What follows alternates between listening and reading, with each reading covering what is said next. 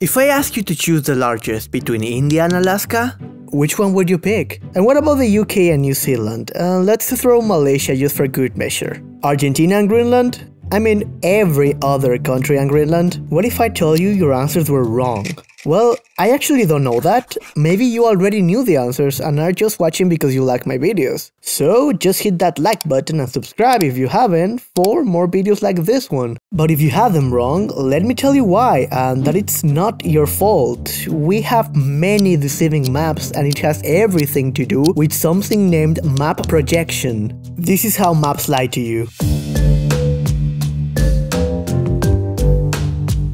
But first, why are they lying? Well, to begin, they have to. Contrary to what sadly many people tend to believe, our beautiful blue dot in space is a sphere. And last time I checked, our preferred method for making maps is a square. Well, more of a rectangle, but you get the idea. This is important because it results in that making maps is incredibly difficult. I mean, anyone could make a map, but an accurate one?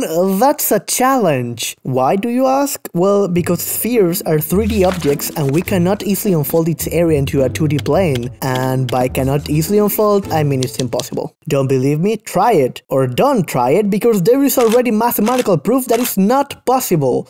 At least not without causing some sort of distortion. So, to be able to display the area of a sphere into a 2D plane, we use a technique called map projection. I won't get into all the details of map projection because, well, it's a really complicated thing. You just gotta know that it roughly consists in putting the Earth into a 3D unfoldable shape like a cone, a cylinder, and a D20 die among others. This is done with some math wizardry so we can project the surface of the sphere into the surface of these shapes and afterwards unfold it to get a 2D plane. That is how we got this map. If it looks familiar, it's because it's the most widely used map in the world. It's the map used by Google, Microsoft and Apple for their apps, and it's shown in classrooms around the orbit but apparently not so much globe. This map is a result of what we know as the Mercator projection. This is a cylindrical projection and it's almost 500 years old. This wouldn't be an unraveled video if I didn't tell you the origins of this, so let's begin. The Mercator projection was a brainchild of Flemish geographer Gerardus Mercator in 1569. Nice. He published it with the name Novetaucta Orbis Terrae Descriptio ad usum navigationem Navigatium Emendata Commondata, which I'm sure I mispronounced horribly. If you're like me and you don't speak Renaissance Latin, this roughly translates to new and more complete representation of the terrestrial globe properly adapted for use in navigation.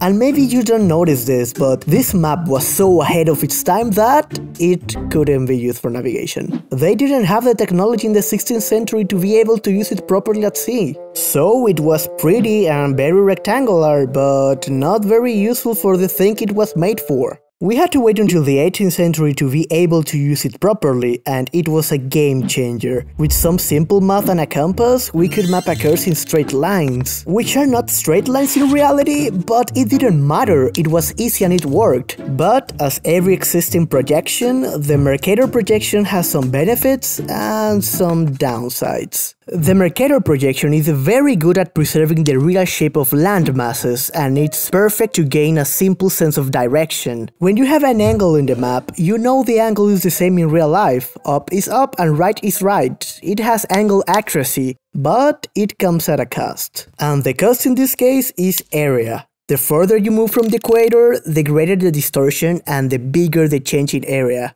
If we put these circles, called Tissot's indicatrices, we can see how the distortion affects the area in different parts of the map.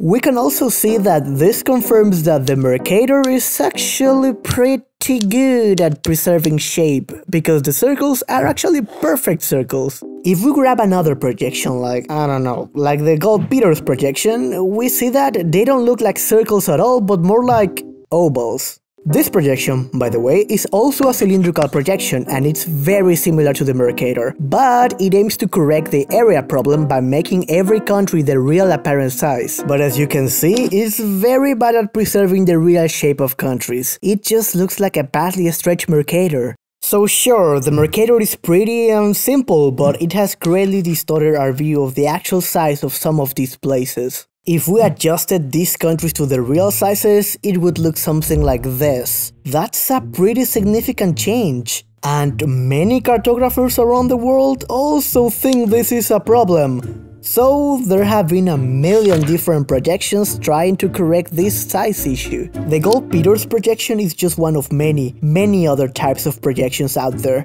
many of them with some sort of trade-off between accuracy in direction, area, shape, distance, and bearing. But I want to give a special shout out to one in particular. The Dymaxion map is a pretty exceptional type of map. This one is a projection of the Earth into an icosahedron that is then unfolded. This is the one from the D20 joke I made earlier. I mean, just look at it, that's a D20. And I think this is my favorite so far.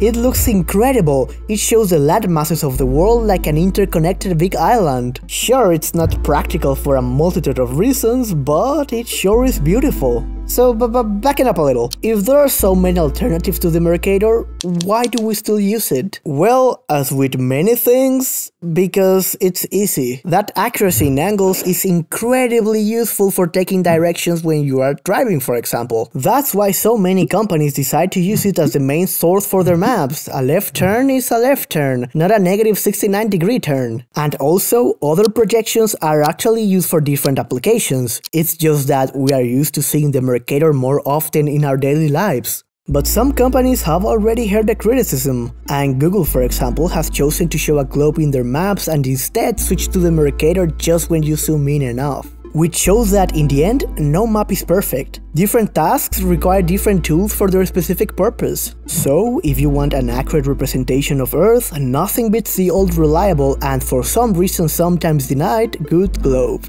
Uh and answering the questions from the beginning, because how else were you gonna know if I didn't tell you? India, Malaysia, Argentina, and compared to the other countries, the country not so country of Greenland would be the 12th biggest. I really hope that you enjoyed that video, I've been wanting to make it for a very long time now. If you liked it, don't forget to leave a like, subscribe and comment and all that stuff. If you want more extra bits, follow me on Facebook, Twitter, Instagram and TikTok. I really hope to see you on the next one, have a nice day and goodbye.